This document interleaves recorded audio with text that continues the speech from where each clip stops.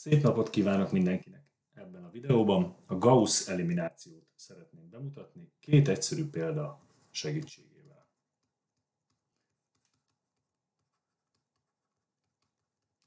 Miről is szól a Gauss elimináció? A Gauss elimináció arról szól, hogy több ismeretlen tartalmazó egyenletrendszereket hogyan lehet, hát mondjuk úgy, hogy aránylag egyszerűen, vagy hát algoritmikusan megoldani, anélkül, hogy mindenféle bonyolult módszereket kellene bevetni.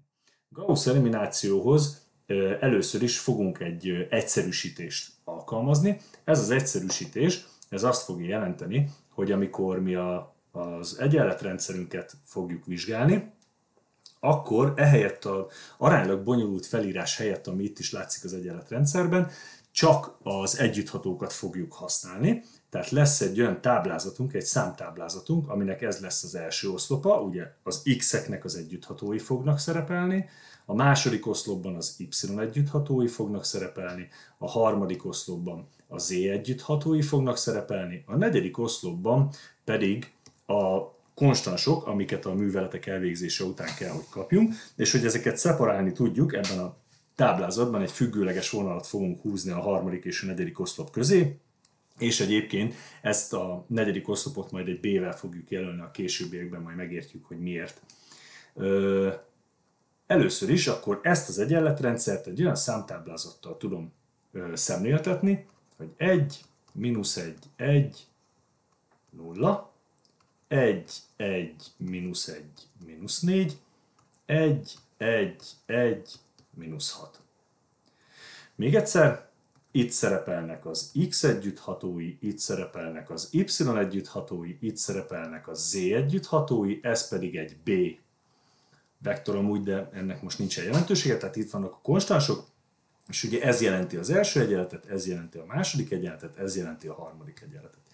Ezt az egyenletet szeretném olyan alakra hozni, hogy ez az egyenlet úgy nézzen ki, hogy 1, 0, 0, B1, 010 B2, 001 B3, hiszen hogyha ezt a táblázatot visszaírnám az egyenlet alakjára, akkor ez a táblázat, ez pontosan azt jelenteni, hogy x egyenlő b1, hiszen az első sorban ugye nincsen y és nincsen z y egyenlő b2, hiszen a másodikban x nincsen, illetve z nincsen, a harmadikban pedig z egyenlő b3, mert hogy itt meg x és y nincsen, ugye 0, 0 az együttható.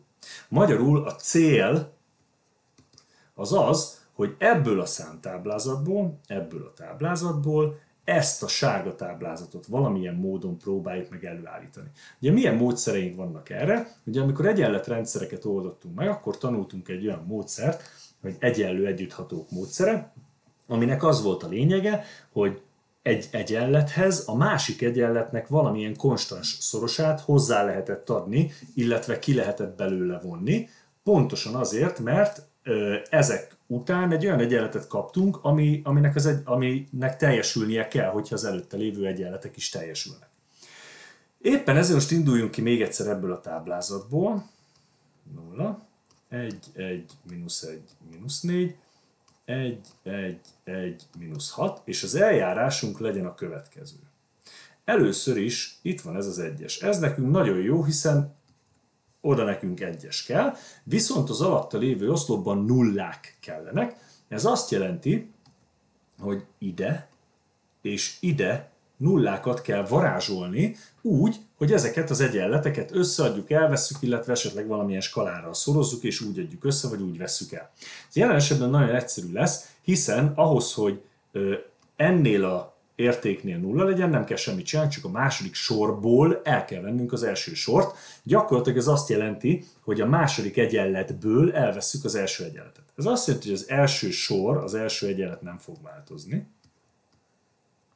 a második sornak a helyére az fog kerülni, hogy 0, 2, mínusz 2 és mínusz 4, hiszen minden egyes elemnél ugye a második sor megfelelő eleméből elvettük az első sor megfelelő elemét, tehát itt az egyből elvettük az egyet, itt az egyből elvettük a mínusz egyet, ezért kettő lett, itt a mínusz egyből vettük el az egyet, itt pedig a mínusz 4-ből vettük el a nullát. A harmadik sornál ugyanezt fogjuk csinálni, ugye itt is egyes van, ahhoz, hogy ez eltűnjön, az első sort el kell venni a harmadik sorból, azt jelenti, hogy 0, 2, 0, mínusz 6. És ezzel már ez az oszlop, ez nagyon nagyszerű, mert pontosan úgy néz ki, mint itt az első oszlop. A következő lépés az, hogy ide nekem egyest kellene varázsolni, hiszen itt egyes van. Ez azt jelenti, hogy mindent változatlanul hagyok, csak annyit fogok csinálni, hogy a második sort elosztom kettővel, hiszen ez csak annyit jelent, hogy a második egyenletet elosztom kettővel, ugye nyilván ez egy olyan művelet, amit meg tudok tenni. 0, 2, 0, mínusz 6. Most már ugye azt kell megoldanom, hogy ez az egyes ez rendben van, fölötte, illetve alatta legyen nulla, és akkor már a második oszlopom is rendben lesz. Ezt ugye úgy fogom megoldani, hogy most a második oszlopot fogom leírni változatlanul, hiszen ebből fogok kiindulni, ez lesz az alapegyenlet. És ugye ahhoz, hogy az első egyenletben az kijelölt egyes fölött nulla legyen, össze kell adni az első és a második sort. Ez azt jelenti, hogy 1, 0, 0, ö, bocsánat, mínusz 2, illetve ahhoz, hogy itt a kettes helyén nulla legyen, az első sor kétszeresét el kell vennem, tehát lesz nulla, nulla, a kétszeresét elveszem, tehát kettő, és a kétszeresét elveszem, tehát mínusz kettő. Ugye ne felejtsük el, hogy itt azt csináltuk, hogy megszoroztuk kettővel az egyet, tehát ezt az egyet megszoroztuk kettővel, elvettük a mínusz egyet megszoroztuk kettővel, és a nullából elvettük a mínusz kettőt, ezért lett plusz kettő, és a mínusz kettőt megszoroztuk kettővel, az lett mínusz négy, és a mínusz hatból elvettük a mínusz négyet, ezért lett mínusz kettő. Na most, ami nekem fontos a következőkben, az az, hogy itt egyesnek kellene lenni, hiszen a harmadik oszlop, vagy a harmadik oszlop az úgy néz ki, hogy 0, 0, 1. Ez azt jelenti, hogy megint csak mindent változatlanul leírok, nem változtatok semmit,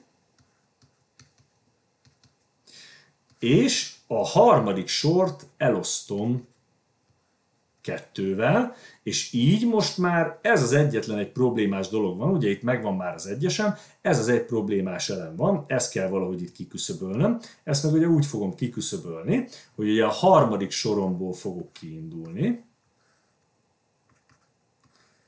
és azt mondom, hogy a harmadik sort hozzáadom a második sorhoz, és hogyha ezt hozzáadom, akkor itt mínusz 3 lesz, itt pedig 1, 0, 0, mínusz 2.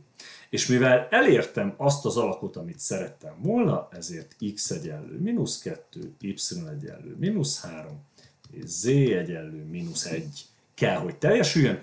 Ezt nyilván ne felejtsük el, hogy Gauss elimináció ide-oda, azért fejbe elég sokat számolunk ilyenkor, ez azt jelenti, hogy az ellenőrzés az nem kikerülhető, ugye mind a három egyenletet, eredeti egyenletet ellenőriznünk kell az x, az y és a z értékének a behelyettesítésével.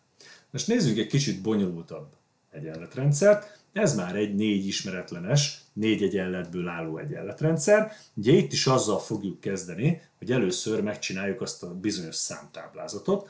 Ugye ebben az esetben ez úgy fog kinézni, hogy 1, 1, 1, 1, 5, 1, 2, mínusz 1, 4, mínusz 2, 2, mínusz 3, mínusz 1, mínusz 5, mínusz 2, 3, 1, 2, 11 és 0.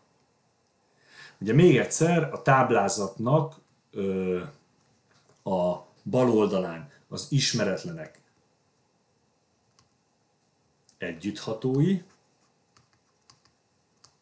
szerepelnek, itt pedig a konstansok. És akkor ugye kezdem azzal az egészet, hogy ugye azt szeretném, hogy a itt mindenhol egyes legyen, mindenhol máshol pedig nulla. Ezt szépen szisztematikusan úgy fogom felépíteni, hogy először kezdem azzal, hogy itt legyen egy, ez teljesül, alatta kinullázom az oszlopot. Ez azt jelenti, hogy az első oszlopot békén hagyom, Ö, ahhoz, hogy a egyes alatt nulla legyen, egész egyszerűen csak annyit kell csinálni, hogy ki kell vonni a második sorból az első sort, kapom azt, hogy nulla, ugye kettőből egy az egy, mínusz egyből egy az mínusz kettő, négyből egy az három, és mínusz kettőből öt az mínusz hét. Aztán a következőnél, ugye megszorzom az első egyenletet kettővel, és elveszem a harmadikból, nulla, megszorzom kettővel, elveszem mínusz háromból a kettőt, az mínusz öt, mínusz egyből kettő az mínusz három, mínusz ötből kettő az mínusz hét, és mínusz kettőből tíz az mínusz tizenkettő. Ugyanezt megcsinálom a harmadik sorra, vagyis hát nem ugyanezt, hanem a háromszorosát veszem el, akkor azt kapom, hogy nulla. Háromszorosát elveszem, akkor mínusz kettő, ugye kettőből három az mínusz egy, 11-ből 3 az 8, és nullából 15 az mínusz 15. Ezzel rendben vagyunk, akkor most ugye ezt a elemet nézem, ugye azt nézem, hogy ott egyesnek kell lenni, ez most teljesül, és a fölötte meg az alatta lévő elemeket szeretném kinullázni, tehát most a második sort hagyom békén, nem foglalkozom vele, és ahhoz, hogy itt nulla szerepeljen, itt, ahhoz ugye az első egyenletből el kell venni a másodikat. Ez azt jelenti, hogy 1, 0, ugye 1-ből mínusz 2 az 3, 1-ből 3 az mínusz 2, és 5-ből mínusz 7 az 12. A következő ugye az, hogy a mínusz 5 nullázódjunk ki, az az ötszörösét hozzá kell adni. Ugye 0, 0, ötszörösét hozzá kell adni, az mínusz 13. Ugye a 3 x 5 15, ez 8, és mínusz 21, mínusz 33. Ha minden jól megy, következő, ugye a negyedik sornál ugye a kétszeresét kell hozzáadni, 0, 0, a kétszeresét hozzáadom, akkor lesz mínusz 5, kétszeresét hozzáadom 14, és mínusz 29. És megyünk tovább. Itt azért egy ellenőrzést tartsunk, nehogy véletlen valamit elszámoljunk, már legalábbis olyan értelemben, hogy ez a mínusz 33 az elég csúnyán néz ki, de nézzük, hogy jól számoltunk-e.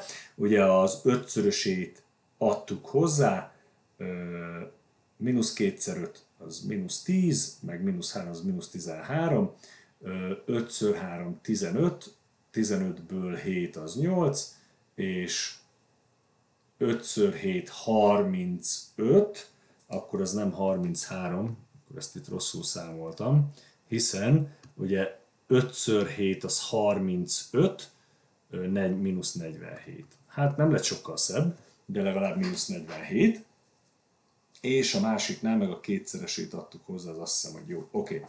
Na most a következő, itt már kezd bonyolódni a dolog, hiszen először ide egy egyest kéne valamilyen módon varázsolni. Oda úgy fogok egyest varázsolni, hogy elosztom, csak semmi más nem fog csinálni, csak a harmadik sort elosztom mínusz 13-mal.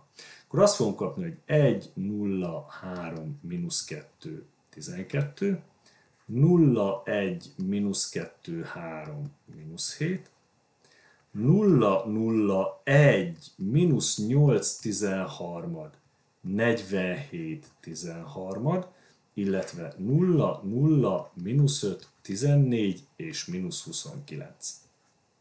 És akkor most nem baj, hogyha az embernél van egy számológép, ugyanis innentől kezdve ugye törtekkel fogunk számolni, ugye ez az egyes ez rendben van, a fölötte lévő elemeket kellene kinullázni. Ez azt jelenti, hogy a harmadik sort leírom változatlanul, 0, 0, 1, mínusz 8, 13 és 47, 13 És akkor nézzük, az első sort úgy fogom kinullázni, hogy a harmadik sor háromszorosát elvesszük. 0, rosszul kezdem, természetesen, 1, 0, 0, és akkor a mínusz 2-ből el kell venni a, bocsánat, hozzá kell adni 3-szor 8 13 ez mínusz 2 13 a 12-ből el kell venni 3-szor 47 13-ot. Ez pedig 15 13 Jó? Következő, ugye a kétszeresét a második sorhoz hozzáadom a harmadik sor kétszeresét. 0, 1, 0. 3-ból kétszer 8 13 ez 23 13 23 13 és mínusz 7, meg ö, kétszer 47 13 ez 2. Na, rosszul számoltam, elnézést. Tehát mínusz 7, meg kétszer 47 13 ez 3 13 és az utolsó sornál pedig az ötszörösét kell hozzáadni, a negyedik sorhoz a harmadik sor ötszörösét adom hozzá, 0, 0, 0, és akkor 14 hez hozzáadok, bocsánat, elveszek 5 8 13-ot, ez 142 13 illetve a mínusz 29 hez hozzáadunk 5-ször 47 13 ami mínusz 142 13 Jó, hát ez borzasztóan néz ki, de azért valamennyire ö, pozitív, hogy, hogy ebből kell egyes csinálnom, abból pedig úgy tudok egyes csinálni, hogy mindent változatlanul leírok, 1, 0, 0, mínusz 2, 13 és 15, 13 1, 0, nem tudom miért rontom el mindig, 0, 1, 0 és 23, 13 3, 13 0, 0, 1, mínusz 8, 13 és 47, 13 és itt meg ugye csak hogy ott egyes legyen a bekeretezett 142-13 helyett, elosztom 142-13-dal, azt fogunk kapni, hogy 0, 0, 0, 1 és mínusz 1. Hiszen ugye az egész sort elosztottam 142-13-dal, és ugye a mínusz 142-13-ot, ha 142-13-dal osztom, akkor ez mínusz 1 lesz. És akkor már csak egy dolgom van, ugye ez az egyes, ez már itt rendben van, a fölötte lévő sorokat kell vagy bocsánat, a fölötte lévő sor, a bekeretezett egyes fölött lévő elemeket kell kinullázni. Ez azt jelenti, hogy a harmadik sornál, ugye 8, az, a negyedik sor 8 13 szorosát kell hozzáadni a harmadik sorhoz. 0, 0, 1, 0. Ugye megszoroztam 8 13-dal és hozzáadtam az azt jelenti, hogy mínusz 8 13 meg 47 13 ez 3. Aztán a második sornál ugye a 23 13 szorosát kell elvenni a negyedik sornak, tehát azt kapom, hogy 0, 1, 0, 0, és a 3 13 ból, bocsánat, meg 23 13 ez 2. És az elsőnél ugye a két 13 szorosát kell hozzáadni, 1, 0, 0, 0, és ugye a 15, ö, 15 13 ból 2 13 ez 1. És így, mivel a bal oldalon ugye megkaptuk azt a táblázatot, aminek a főátlójában ugye egyesek vannak, mindenhol máshol nulla, ez azt jelenti, hogy az x1 az 1, az x2 az 2, az x3 az 3, az x4 az pedig mínusz 1, és ugye ne felejtsük el, hogy ellenőrizzük a kapott megoldásunkat az eredeti egyenlet rendszer minden egyenletébe való behelyettesítéssel. Hát ennyit szerettem volna bemutatni a Gauss eliminációval kapcsolatban. Köszönöm szépen a figyelmet!